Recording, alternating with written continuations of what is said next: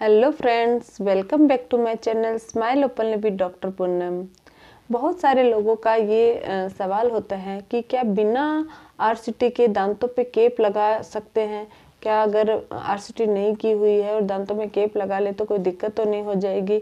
ऐसे क्वेश्चन मेरे को बहुत सारे लोग पूछते हैं। कमेंट में भी आ, कमेंट बॉक्स में भी काफ़ी कमेंट्स ऐसे आते हैं और मुझे नॉर्मली पर्सनली भी पेशेंट्स ये सवाल पूछते हैं। आज का मेरा ये जो वीडियो है वो इसी टॉपिक पे है कि दांतों में केप बिना आरसीटी के लगाना संभव है या नहीं। तो अगर आप लोगों ने अभी तक मेरा चैनल सब्सक्राइब नहीं किया है तो प्लीज़ सब्सक्राइब कर लीजिए, बेल आइकन को प्रेस करना मत भूलिए, ताकि आपको मेरे न्यू वीडियोस की नोटिफिकेशंस मिलती रहे।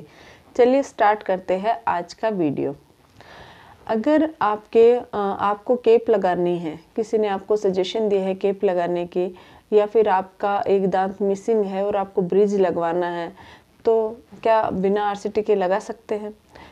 तो इसका जो आंसर है वो ये है कि अगर आपका दांत नॉर्मल है उसमें कोई भी कैविटी नहीं है, कोई भी इन्फेक्शन नहीं है, दांत हिल नहीं रहा है, मसूड़े स्वस्थ है तो आप इसको बिना आरसीटी के भी केप लगा सकते हो। मान लो आपके एक दांत नहीं है और आपको ब्रिज लगवाना है। ब्रिज का मतलब ये होता है कि जो पास वाले दांत होते हैं, उनको थोड़ा सा रिड्यूस किया जाता है और उन पे केप लगाई जाती है और जो दांत मिसिंग है, वहाँ पे दांत लगा दिया जाता है। जैसे कि आप फ़ोटो में देख सकते हो। इस टाइप का ब्रिज होता है। तो ऐसी कंडीशन में आप बिना आरसीटी के केप लगवा सकते हो। क्योंकि आपका जो पास वाले दांत है, वो मज़बूत है, वो स्वस्थ है, उनमें कोई भी प्रॉब्लम नहीं है। लेकिन अगर आपके दांत में कोई दर्द है, कोई इन्फेक्शन है, या आपके केविटी है, छोटी सी केविटी भी है अगर, आपके दर्द नहीं हो रहा लेकिन आपके दांत में केविटी है तो अगर ऐसी कंडीशन में अगर आप कभी बिना आरसीटी के अगर केप लगवा लेते हो तो आपके दर्द हो सकता है इन फ्यूचर क्योंकि केप लगाने से पहले दांत को थोड़ा सा रिड्यूस किया जाता है ताकि केप वो अच्छे से फिट हो जाए।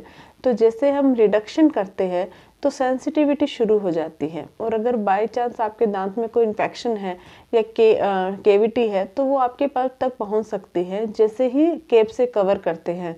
और धीरे धीरे अंदर पस फॉर्मेशन हो जाएगी अपसेस बन सकती है मवाद बन सकती है और इन्फेक्शन ज़्यादा बढ़ सकता है। तो ऐसी कंडीशन में फिर आपके केप लगाने के बाद दर्द शुरू हो सकता है।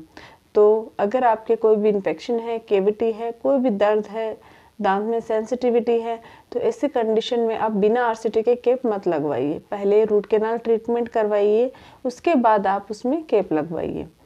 तो ये है कि आप बिना आरसीटी के केप लगवा सकते हैं। अगर आप लोगों को मेरा ये वीडियो अच्छा लगे तो प्लीज़ लाइक शेयर और सब्सक्राइब ज़रूर कीजिएगा। बेल आइकन को प्रेस करना मत भूलिए, ताकि आपको मेरे न्यू वीडियोस की नोटिफिकेशंस मिलती रहें। अगर आप लोगों को कोई भी क्यूरी हो तो आप मुझे कमेंट बॉक्स में कमेंट करके पूछ सकते हो। Thank you